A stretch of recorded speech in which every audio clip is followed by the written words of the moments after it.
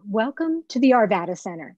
I'm Janet Nunn, and I'm here today to show you how to paint some fun paintings.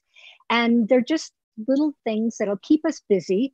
And today, we're going to use some sheetrock tape. I don't know if any of you guys have ever seen this, or we're going to use that, some scissors, and we're going to use some tissue to make some clouds with. These are fun and easy paintings to do. And we thought it would just bring a little bit of happy painting into your life. So let me just turn my camera around and come around the other side so I can get painting. I'm just gonna move my camera down so you are able to see this. Now, um, we have been using some note cards or we've been using some little pieces of watercolor paper uh, folded up. This is 140 pound paper. You can find most of that, most of these types of papers in any type of art store. And what I've done is I've taken and taped it down on this board. And you can see I just use scotch tape, which works just fine. I usually take the scotch tape and go all the way around. You wanna go edge to edge on, on your paper. And today we're going to be doing some fun buildings. And people always go, oh, I hate, I hate to do buildings. But with something like sheetrock tape, it just takes all the problems out of making buildings, especially for an artist that has to draw and paint every single one of those little lines. So I cut off the sheetrock tape. The reason why it's so cool, it has a sticky back and it already has the windows done. So if I just come over here and cut, I can have, well, let's just go on this side. I can have a very tall building. I can have a shorter building. This is kind of nice because I can just come over here and place the sheetrock tape right there. And it might be kind of hard to see, but it's really kind of fun. I'm just gonna take another guy and cut all the way here and come over here, do another building. And if they're crooked or something like that, you're not happy with them, just move them over, pick them up. And then I need one more little piece back here. Let's get a taller one. And just gonna come right in there, kind of give me an idea of how much I need to put in there. And that is so nice. So I have buildings that are already in here and that took just a few little seconds. And you can just have that sheetrock tape. I might need that other piece later on. Now that I have the buildings, I need to make the sky. And that's the painting part of this. This is, this is what's so fun. Um, I'm gonna take some water here. I'm gonna probably move my camera up just a little bit right there so you can see this next part. This is what I call spitwad clouds because I want to have these beautiful clouds that are in the background. And so what I do is I take tissue, just regular facial tissue, and get it nice and wet. And the reason why we call it spit wads is you guys remember when you were kids and you had lots of tissue and you threw it across the room. This is the same effect. It has lots of water in it. And I might need two of them. I am sculpting clouds. So this will act as a resist in my um, painting that I'm going to be doing. And this is kind of what I'm going to be doing here. Kind of like this one. I'll move it over here so you can see it. Um, here's this. So these buildings um, have lots of clouds coming in there. And so I've sculpted that. And now um, I'm going to use some paint. And one of the paints that I use is the Dr. P.H. Martin's Hydrus watercolors. And they're already mixed. So I can do this in a matter of minutes. So it doesn't take very long. And a little drop right here, that's phthalo blue. I'm also gonna use ultramarine. Okay, so let's say you don't have these paints. You can mix these paints together and have them ready and you can watch this over and over until you uh, kind of get the hang of it. Or if you're watching right now, just uh, start mixing, press pause, and here we go. Um, I have these wonderful skies that I'm going to do. And I'm just going to take a little water and I'm going to use like a number 12 brush and just wet the outside area of the tissue and get some nice water going. Now, add some of that rich, beautiful phthalo blue. I'm kind of come down here, maybe add a little bit more. And since this is at the top of the sky, I'm gonna add some of the ultramarine. Come down here. And then this cloud is gonna have lots of moisture. And I'm gonna come back in with this quinacridone magenta and just paint it right along the bottom.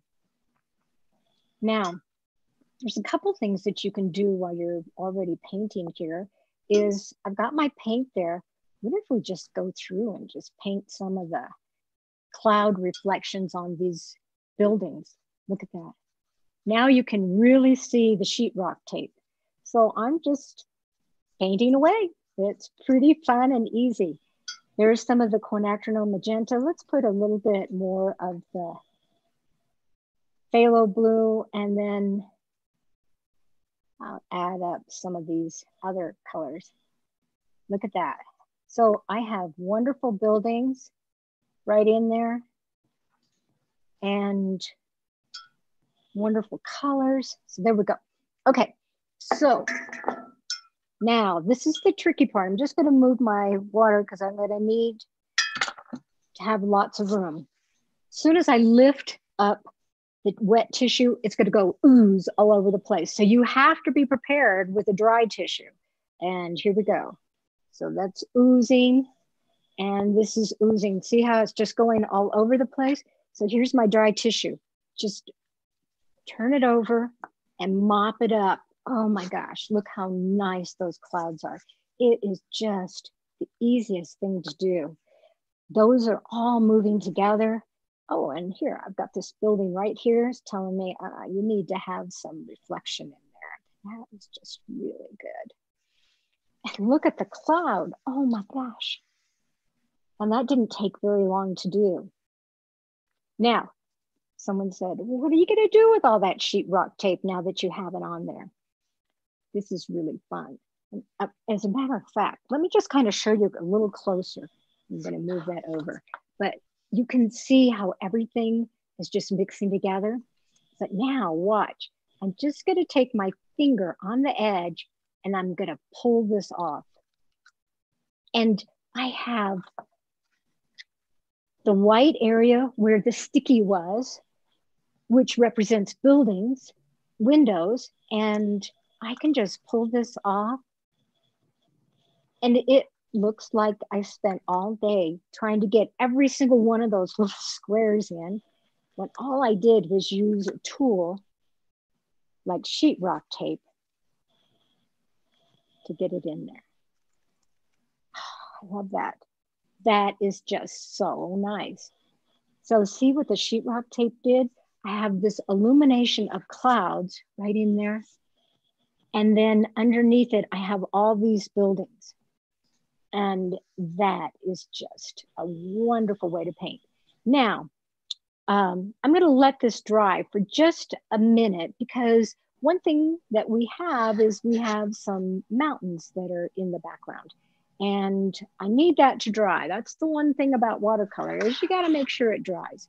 So just to show you one more time, um, I'm just going to move my board over a little bit and I have this um, already done sheetrock tape right here. And I'm just gonna show you one more time. This time I'm gonna take and use a couple of different colors. I wanna create a sunset. And I'm gonna use colors like Hansa Yellow Light and a gamboge. I'm gonna use some gamboge in there. Here, let me just turn this around so you can see me. You gotta be able to see everything. So here we go. Let's hope I don't do too much spilling. Okay, so there's some gamboge and I'm gonna have a little bit of red. So I've got some Brilliant Cad red and that makes it nice. And then a little bit darker tone. Um, and with that, whoops, that is just running. I will uh, add some quinacridone magenta. And I have those colors. I need to do the same thing with my spit wads. Remember how I did that? I had the water. I'm just moving the water over to the side. And I have my spit wad right there on the paper. Just like that. Look at all that water I'm using. And if you have little droplets that go all over the place, that is just fine. Now, let's take this yellow and come over to the top of the sky and say the sun is setting. And then I'm gonna add some water down here and some gamboge.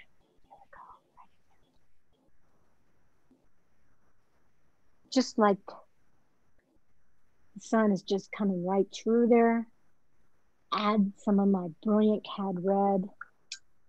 And then we have to have just a little bit of the magenta coming down. And maybe a reflection onto some of these buildings. Look at that, that is just so fun hopefully you're just painting along with me and you're going, this is just wonderful. Now, from before, I had some of that um, ultramarine. I'm just going to add a little bit in here just to darken up some of my, the bottom of my buildings. Just like that. And looks like I need a little more color right in here. I like lots of color and I like lots of drama there. Okay. Now, remember this step? This is where I said stuff is going to flow all over the place. So I lift, set it over here, lift again. Oops, there's my water. It's flowing like crazy.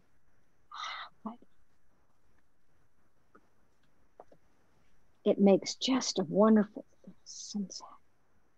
Love that. That's just working really nice. And the blue just came right in there. So this one has a whole different effect that you can get. It's just that you're changing the sun or whatever.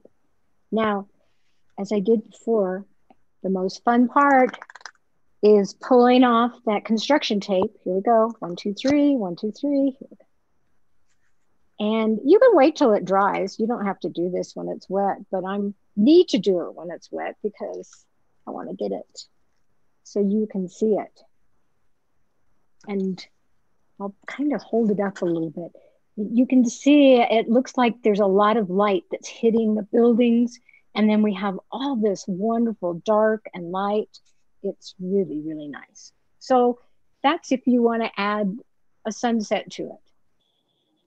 Now, the other thing that I was talking about, I'm going to come right back here and it's it's fairly dry, dry enough that I can paint around things, and I'm just going to create a, a little bit of a mountain scene back here because as you're downtown and you're looking at the west, you're going to be able to see this beautiful mountain t- just take shape. And you've got all these wonderful buildings. So I'm just going to come right down paint on some of those buildings, get my mountain coming across and not too hard, just a few little lines here and there. Now let's just come right over here and make the mountain a little bit bigger. come underneath the edge of that building. And oh, I got a nice little building down there. Add some of that magenta into that ultramarine. And there you go. And that looks really nice. Now, um, let me move it up just a little bit more so you can see it. So we've done the buildings. We've got this beautiful, wonderful background sky. And then we have some mountains that are in there. And let me just edge that up just a little bit more. That's the thing about it. Once you look at it, you got to add a little bit here and a little bit there. So there we go. And we've done a couple of these before. And each time I like to show you how to finish them because I think that's most important is just to finish one of these little projects. And to finish it, I'm just going to take this scotch tape that I used and come around and be done with it here. Now, um, at the Arvada Center, we're going to be doing some Zoom classes. And uh, one of our first classes is going to be coming up pretty soon. It's going to be coming um, April 25th at 9 a.m. And I'm doing a class called Man Made. So we're going to be doing some buildings and it'll be really a lot of fun. Uh, Zoom has been really a nice way to go. Then on Saturday, May 2nd, I am going to go ahead and do another Zoom class, and that's on flowers. We are going to have so much fun on flowers. Now, the other thing that we've been doing is putting a little border around this. And here's my little straight edge. It's still a little wet, but I can I can work around it. We can just work around it. So you're just going to come around, take that Sharpie, go edge to edge, follow that line that you've done, and you will have a small painting that you can hang in your house or you can put it on a bookshelf and you can send to someone. Is it wouldn't it be nice to have something like this in the mail to somebody? That would be really good. There's my edge there. And then I'm going to come over to my last edge and we are going to finish this off. And that would be really good. And maybe I'll see you in one of the Zoom classes. Our man-made with buildings will be really a lot of fun. And you can sign up through the Arvada Center at www.arvadacenter.org. And you can see all the classes that they will be doing. I'm signing my name on this and just thought I'd show you that this is a wonderful way to have a card of buildings. And we use sheetrock tape, we also use some tissue, which is right underneath here, uh, some paints, Sharpie, a little straight edge, and you will have a card to send to someone. It'll be really fun. And thank you again for joining us. Um, hopefully we'll see you in a class And till we do this again. Thank you.